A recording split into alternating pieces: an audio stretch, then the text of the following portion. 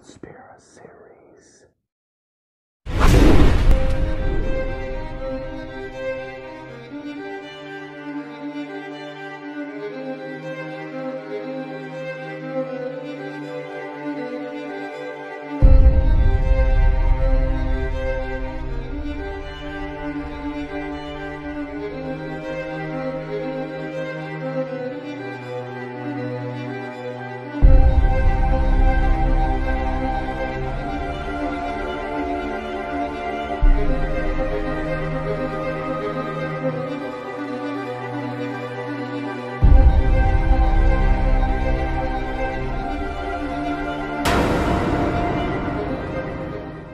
going on, ladies and gentlemen? Welcome to episode two. We're going to go back to 1996. There was a promo that Arn Anderson cut. He talked about Chris Benoit's obsession with Kevin Sullivan. The fact of the matter is, Chris, there's going to come a time, and it's not that far down the road. You see, I've got more age in years, I've got more age in the business, in this great sport. And age denotes wisdom. There's going to come a time in my life and in your life when there's no more cameras, no more TV lights, no more people running up to you at the mall saying, Can I have your autograph? And whether you walk away from this great sport, or whether you limp away, or whether they roll you away in a wheelchair, the one constant will always be in your life is your family. They're there. They pat you up when you're hurt. They prop you up. They build your ego up and they send you back out that door. Well, Chris, I'm just going to ask you one time. Is this obsession with destroying every aspect of Kevin Sullivan's life worth losing your soul? Well, is it? Wow. Now that's what I call eerie. Very, very eerie. Of all the things Arn could have said in that promo, he basically brought up Chris's family, which obviously at the end, it's about Chris's family. He brought up Kevin Sullivan, which I very much think was about Kevin Sullivan too. And he brings up if you don't get over this obsession with Kevin Sullivan, is it worth losing your soul? Well, is it? Well, why do you have to lose your soul in all of this? And I know what people are going to say. Oh, come on, that's just a promo. Arn Anderson didn't know what was going to happen. There's no way Arn Anderson would have thought Chris Benoit would really die or would have entertained or crossed into his mind that Chris was really going to be dead like that. The only problem is, I think Chavo Guerrero tells us of another example when Arn Anderson predicted Chris Benoit's death yet again. I remember Arn Anderson saying, "You know what? If Benoit didn't show up with no word, he's either has just taken off to like Alaska and Mm-hmm. he's going to be like a you know a merchant marine or something, or he's or he's dead basically." That's And- and- I remember him saying that, not meaning it. It's like, what do you mean not meaning it? He said Chris, if he's not Chris is not here, he's dead. That's uh, how else could he mean it? How else could he say it? You know, of all the possibilities, why does death have to be the ultimate one? Why someone wouldn't be at work? Maybe they got kidnapped. Maybe they got held hostage, taken hostage. You know, because at this point, Chavo hadn't told anybody in the company about the text messages he had been getting, which is very suspicious in of itself. Waited what thirty something hours to even say something, uh, and that's from the last text message that he got, because he got them at what five, four or five in the morning on Sunday, the day of vengeance, June twenty fourth, two thousand seven. Didn't say anything till that next day, Monday, around 11, 12. Didn't say anything to company officials until that time. And so it's like, first of all, why are you waiting so long to say something to somebody? Why are you withholding this? Oh, I was trying to cover for Chris. Cover for what? Cover for what? You said yourself, and Chavo in, in interviews has said Chris sounded groggy, didn't sound like himself, sounded like he forced an I love you. So there were many signs there where Chavo even admitted that he picked up on that, that something didn't seem right but he was covering for Chris. That's very odd. Arn Anderson predicting and saying Chris Benoit's dead. That's really strange. These are not normal behaviors. You know, it just seems really weird to me how all of this played out. But we're not done with Arn Anderson just yet. I want to go to an interview Black Bart gave where he talked about some behind the scenes stuff with Chris Benoit and Arn Anderson. They're bringing him into WCW as as the the a, a horseman, one of the horsemen. Bart, go put him over. Yes, sir. I'll go put him over. Me and Chris have a background in Japan that unless you was on them tours, you did, you know, you don't you don't see them matches over here. Me and Benoit went out there, brother, and just Benoit said, just I said, brother, they, they no, they want you to, to. He said no, just have a regular match, just like me and you been in an angle for a year. I said, brother, we can't, we can't, we yeah, we can, yeah, let's do it, Mark. Let's just go show them brother, me and him went out there and we poured that place down. Anyway, one, two, three. Chris I, does something where Chris comes off the, the top rope. I catch him. We we flip, but then we flip again, and he comes up on top anyway. One, two, one, two, three. I come up matter, and he's he's he scoots.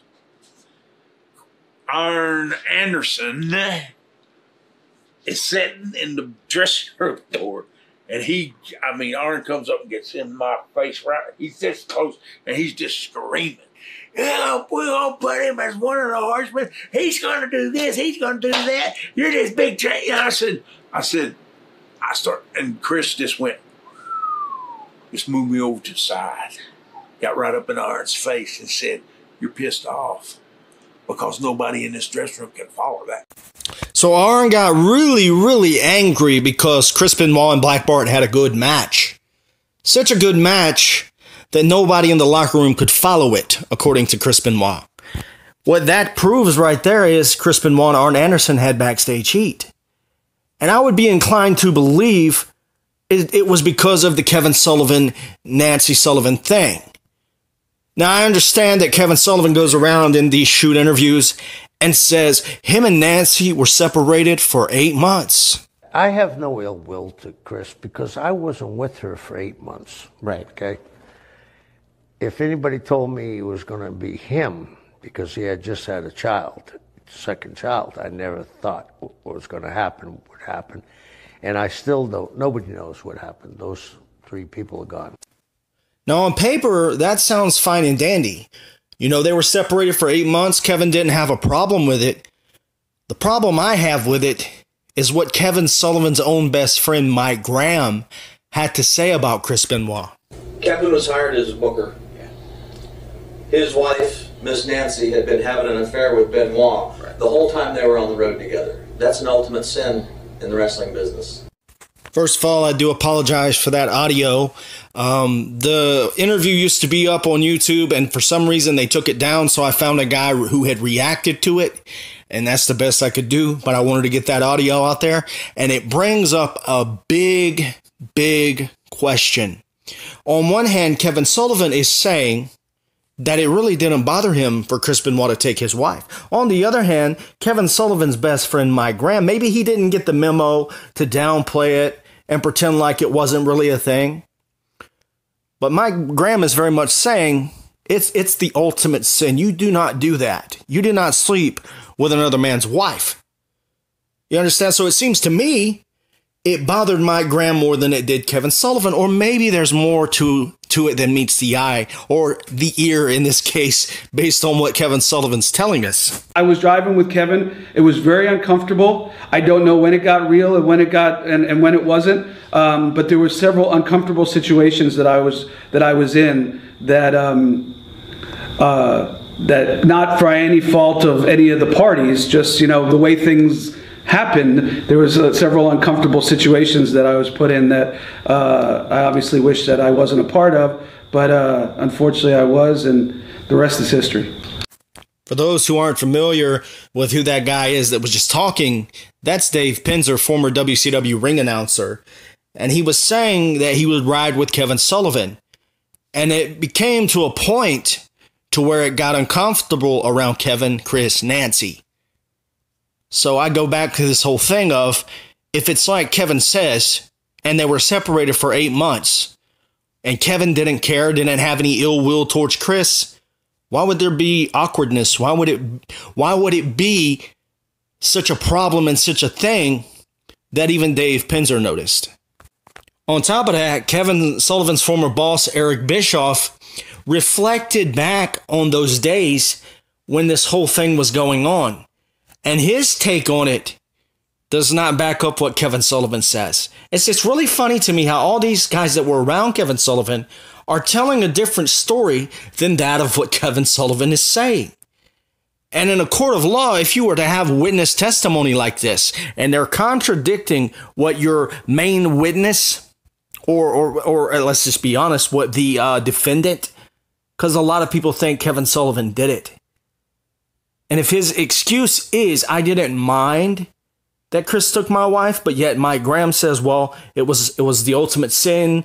Dave Penzer says there was uh, awkward situations. It wasn't, you know, I don't know when it was real and when it wasn't. And then for Eric Bischoff to say this, it was a surreal situation, one that I had never experienced before. So there was no template as to how to handle it. But obviously, you know, the storyline with Benoit and and Nancy Sullivan and and Kevin went from being, you know, art or, or, or, life imitating art or art imitating life. I'm not even sure which at this point. It's so confusing. But when anytime you weave, you know, a personal relationship into a storyline, I, I don't want to say and not every time, but it's likely to affect the people involved. In this case, clearly it did with devastating ramifications. Add to that, I hope Kevin isn't offended when I say this publicly. I don't think he would be. But Kevin, in order to get through a lot of his shit, was self medicating, which only made everything worse. So, yeah, I gave him time off. And there it is from Eric Bischoff's own mouth. The consequences of that storyline had devastating ramifications. See, that's not that's not what Kevin Sullivan's telling people. That's not the story he's putting out there. And for him, I'm sure in his own eyes, if he comes across as this guy that was bitter and angry and had problems and had to be laid off from his job because he was taking pills. Because he was so depressed and he was so down and it got to him so much.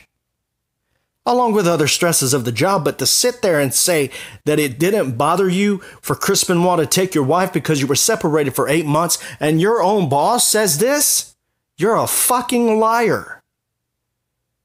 And it wouldn't hold up in a court of law. And that's why I wonder why, how come they didn't investigate Kevin Sullivan? They would have found all these holes, all these lies that I found so easily. And all I had to do was look on the internet. Imagine if I got to talk to these people and the questions that I would ask them. It would be, it would be quite telling to see the answers they would give. Because I guarantee you, it wouldn't be a cakewalk. And speaking of Kevin Sullivan and his lies, I got one more that I'm going to play of Kevin Sullivan and Mike Graham to prove what liars the both of them are. I, I never had a problem with Chris until the very end when I put the belt on him. Somehow they thought I was going to, he, uh, he somehow he thought I was going to screw him, putting the world title on him. How and so? I, I don't know. But do you know how hard it was? I brought Sid Vicious in the room, that's six nine, and I said to him, "You're going to lose to Chris Benoit tonight." And he said, "I'm losing to a midget." I said, "Those are his exact words." Yeah, I said, "Listen, the kid deserves it. He's worked hard. I want to put the belt on him, and it's an olive branch from me." Now I know I said I was going to follow it up with Mike Graham, and um, I will play the audio of what he had to say as well, but I, f- I forgot about this part. Kevin Sullivan admitted that he was offering Benoit an olive branch. He told this to Sid. because Sid apparently said I'm losing to a midget, which we'll get to that in a minute as well. We got we, we have Sid Vicious interview where he pretty much denies having a problem losing to Benoit. Uh, he didn't necessarily agree with it, but he didn't have a problem with it. So that's not exactly what Kevin Sullivan's saying there. However, when you offer an, an, you know and extend an olive branch that means something that someone does in order to show they want to stop arguing. The olive branch is often used as a sign meaning peace.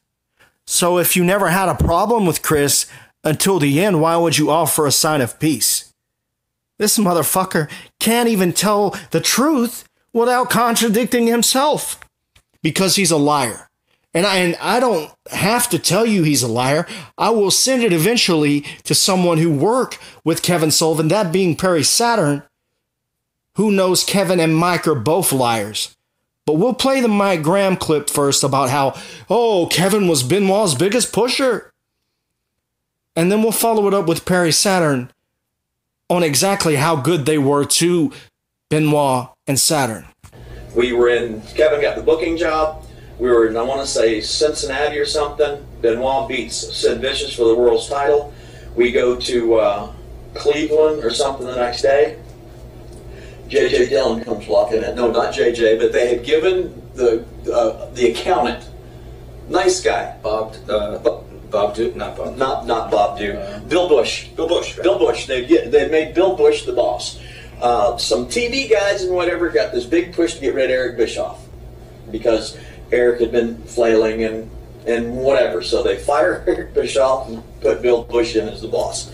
So Kevin puts the world championship, world title on Benoit. Bill Busch comes in the dressing room with Kevin and I, and he said, "Guys," said, "I," he said, "I, I, I know what I'm going to do, but I just want to tell you." He said, "Benoit, Guerrero, uh, Perry Saturn, uh, and somebody else said they're all going to leave if if I don't fire Kevin and you and J.J. Dillon. I said, what? Said, quote unquote, Benoit said he can't trust his career in Kevin's hands. I said, Kevin, against everybody, put the world's title on him last night. And he said, well, I'm, I'm going to let him go, but I just want you to know the ultimatum that they just gave me. I said, really? So I walked out of the dressing room. I found Benoit. I took him, sat his ass down in the middle of the arena where nobody was around. Hmm. I said, let me tell you something worthless. I won't use the language I did. But I said, Kevin Sullivan is your biggest pusher. I said, I said not to put the world title on you. J.J. Dillon said not to put the world title on you. But Kevin is your biggest pusher. He did that on his own. Joey Jojo Jr. Shabadoo from the Crap Forum. What was the first moment in WCW where you thought, I want out?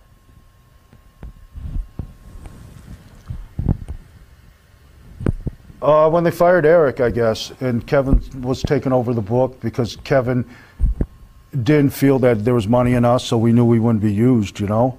And it, uh, I don't, you can't, I, you can't fault Kevin for that. If he doesn't think that he can do a storyline that uh, can make money with us, then that's his right. Mm-hmm. What I fought him for is he'd look at you in your face and tell you, oh, no, it's not me, it's this guy, it's that guy, all the backstab and lying bullshit. If he's the booker, he's responsible to make the company money. And if it, the company doesn't make money, he's going to get fired. So if he didn't think he can make money with us, I have no problem with mm-hmm. that at all, you know.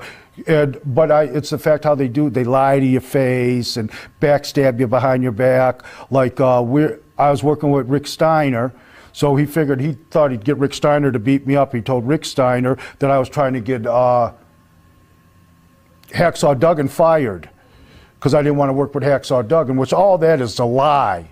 Not knowing, not knowing Sullivan's such a fucking idiot, not knowing that Rick is going to come right up to me and ask me what's going on.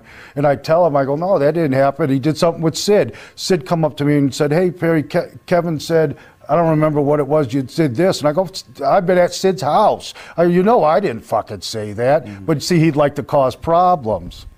So, uh, yeah, he's a, like, and just lying, like, uh, me and Chris were the WCW Tag Team Champions, and, and when Eric wasn't there, he'd put us in single matches doing the job, and we would bitch and go, "Well, why aren't we defending the titles?"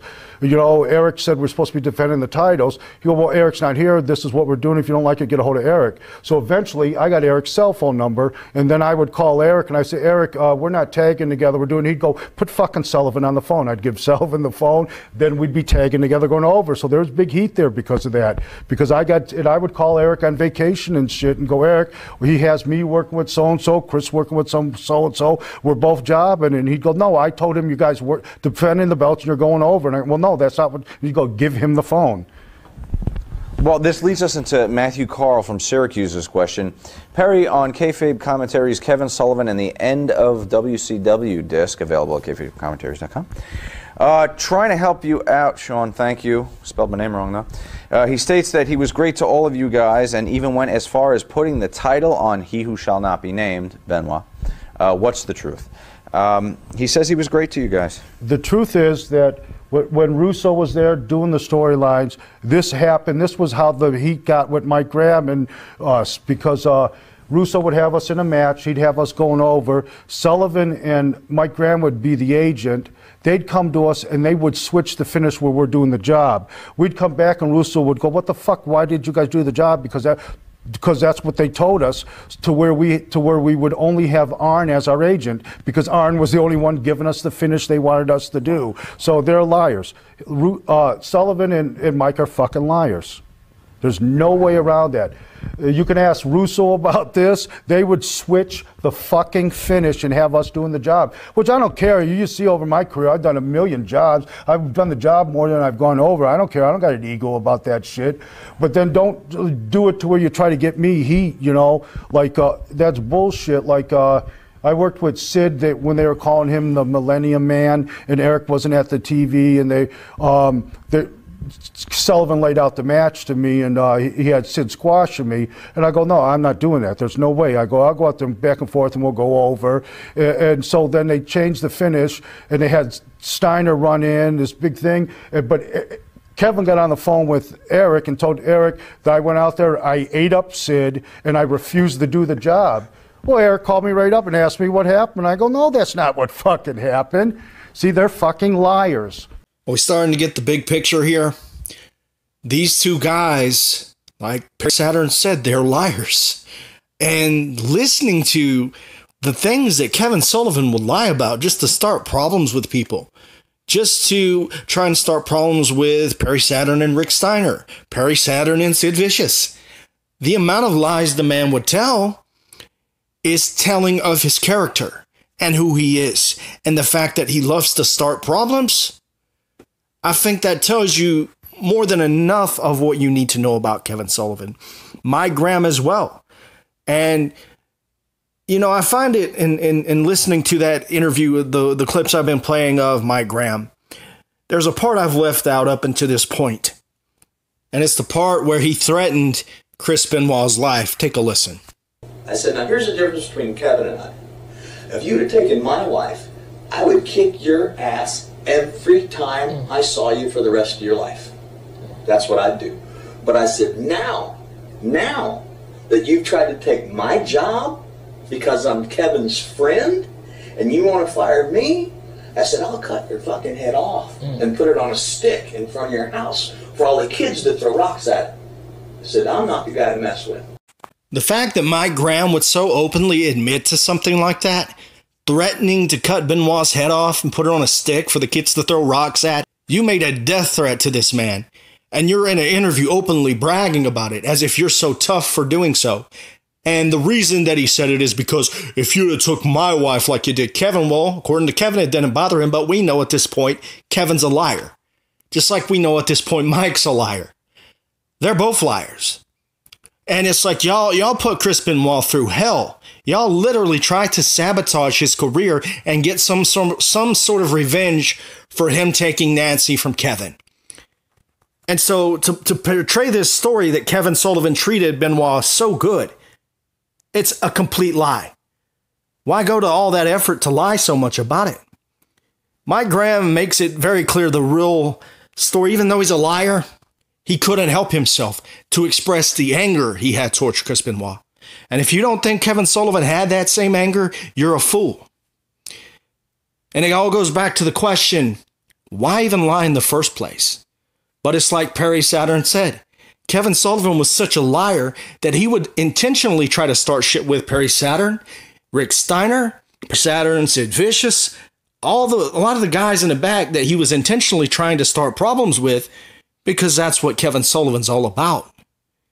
So you can't take Kevin or Mike Graham at their word for anything. And that leads me to the Sid Vicious thing, where Kevin said, Oh, you know, he's all upset. You know how hard it was to tell Sid Vicious he had to lose to Benoit? Sid was like, I got to lose to him. Mitch, why don't we get Sid's recount of this? I remember them coming to me, Terry Taylor at the gym that day. He goes, Well, you know, we're going to put Chris over you today. He's going to take the belt. I said, I don't care. You know, I don't think it's a good decision, but it don't bother me at all. So during the match, they, when they're going over, said, they came to me and said, Sid, when he puts that crossface on you, we want you to slip your leg under the bottom rope. I didn't know why. I just did what I was asked. So then as soon as we came to the curtains, they fire him, you know. And I don't know why they did that to fire him, but they did. So, a couple of things here. What Sid said about them telling him to put his foot under the rope goes in line with what Perry Saturn was saying about my grandma Kevin Sullivan changing the finishes. And that's exactly what they did there with Sid Vicious. Oh, put your foot under the rope. And and Sid says once they got backstage, meaning this was Sunday night, January 16th, 2000, WCW sold out. When Chris Benoit won the title right after he won it, guy in the back, they fired him on the spot. Not this garbage that Mike Graham said, where it was the next day and Bill Busch comes in and explains to them how there's a petition. Like, there's no debate on there being a petition. You know, that's from multiple sources. There was a petition. Chris Benoit, Perry Saturn, Dean Malenko, um, Shane Douglas, they all wanted to get Kevin Sullivan fired. So there's no debate there. But why Mike Graham would say it was the next day, and Sid Vicious is telling you no. As we when I walked through the curtains, they fired him right there. I saw it. More lies. What's the need to lie about that? And then on top of this, Sid says, you know, they told me that I was going to be losing to Chris Benoit. He said, uh, I didn't think it was the right decision or I didn't agree with the decision. But I, I, I had no problem doing it. I'll put him over. I'll do what you guys are asking me to do. Not this hard little story that Kevin Sullivan's telling where, do you know how hard it was to sell, tell Sid he had to lose to Benoit? Didn't sound like it was too hard for Terry Taylor to tell him. So where does the lying end? Do you think they're going to lie about these little things and Kevin Sullivan's going to admit that he knew about or had something to do with the killing of Benoit, Nancy, and Daniel? Do you think he would admit something like that while lying about little petty shit? Because I don't think so. Narcissistic liars, they tend to lie about everything. And you can best believe Mike Graham, and I know he's gone, and Kevin Sullivan, both were narcissistic liars, and Kevin Sullivan probably still is one. Those are the facts. Now, I want to end this video because I know I told y'all in the first episode about the day Eddie Guerrero had a heart attack, or they portrayed it as him having a heart attack on SmackDown May 20th, 2004. That was one day before Chris Benoit's 37th birthday. Well, Mike Graham, as we all know, committed suicide. And I've put together a little a little something to show you some interesting date. Well, I would say dates, but it's only one specific date about what happened and whose birthday was the day after Mike Graham died. So here it is, just like I said. Michael Gossett, better known as Mike Graham, was an American professional wrestler who was the son of Eddie Graham. Born September 22nd, 1951, died October 19th, 2012. Now, you'll remember when I showed y'all that Eddie Guerrero had the fake heart attack or collapse in the ring on SmackDown, that was May 20th, one day before Chris Benoit's 37th birthday. Why don't we see how close to somebody else's birthday Mike Graham died, died on? Chavo Guerrero IV, better known as Chavo Guerrero and Chavo Guerrero Jr., is an American professional wrestler, promoter, and actor. Born October 20th, 1970. October 20th, what happened the day before his birthday in 2012? Mike Graham died. And the same Chavo Guerrero that changed his story when it comes to Eddie Guerrero, and as we'll get into a little bit later on in, the, in another episode, actually changed his story and timeline when it comes to Chris Benoit. Chavo Guerrero is another shady character in all of this. And I'll tell you all, by the time I'm done, this is just the beginning. This is just the, the start of the facts that I have found. And I know there's going to be some people that chalk it up as, oh, it's just coincidence. But to see, the problem is this keeps happening. The dates, not only the dates, but the facts and the investigation, how they contradict themselves. District Attorney Scott Ballard constantly contradicting himself. It's complete disaster, a complete joke that investigation was. And when you look at things like this, you know, there are such, such a thing as serial killers, and they love to leave clues. So let's not pretend as if it's out of the realm of possibility, because it is absolutely not. Who are the killers? We're gonna we're gonna elaborate as we go on. And I'm not saying Arn Anderson killed Chris Benoit. I think for sure Arn Anderson knew something. I think for sure Chavo Guerrero knew more than he's talking about, more than he's leading on. I think he knew because he was at Chris Benoit's house the weekend before all that stuff went down. Michael Benoit, Chris's father, talked to him that Sunday, meaning the, the, the prior Sunday on Father's Day prior to what happened June 22nd, 23rd, 24th, and said Chris was upset because he was on the road. He wanted to be home with his family. When you want to kill your family, are you you you're planning on leaving this earth as the apparent suicide note said, although we don't have any proof that Chris wrote that? You you got to keep in mind most of the quote unquote facts then quote unquote evidence that they say points to Chris doing it is something that anybody could have done and planted as evidence. Looking up how to revive Daniel, anybody could do that on a computer. Unless you've got video footage of him typing it or something like that, y'all don't have shit. Y'all have nothing.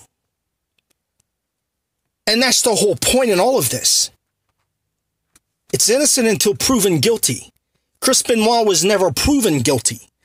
There was just a bunch of scrambling and a bunch of people involved trying to come up with any reason to say that Chris did it. It was steroids, then it was CTE, then it's you know it's the brain damage. Oh, he maybe he just snapped. Well, maybe this happened, and maybe that. It's a lot of maybe this, maybe that. No real fact. Well, what I can tell you is the facts that I'm putting out and the facts that I'm putting forth put a lot of holes in these so-called facts from the prosecutors. Does uh, are, are you people aware that there's people in law enforcement in Fayetteville, Georgia? And there's people that I have talked to because I'm in a group you know, of people from Fayetteville, Georgia. And they say that they know people that were involved in the investigation, and they say that it was a sham of an investigation. They say that it was not done properly at all. The, they actually say the investigation needs to be reopened. And that's the ultimate goal of this whole series. I want to petition to reopen the Chris Benoit case. I'm not I'm not one of these people that just want to talk. I actually want to do something about it. But in order to do that, I will need support. In order to do that, we will all have to come together, those that do think Benoit is innocent. And we will have to do something about that. But yeah, with everything I have provided in this video, the fact that Kevin Sullivan is a liar, the fact of Mike Graham making death threats, I think you have motive. I think I have proven that there are people who would want Chris dead. But again, that's not it. In the next episode, we're going to continue our little journey. We're going to continue to expose things. And don't get me wrong, I think many people were involved in this. And that's why it's taken so long for me to get to the end. Because I think this was planned out, and I think it was planned out for quite some time. Thank you guys for watching. See you later.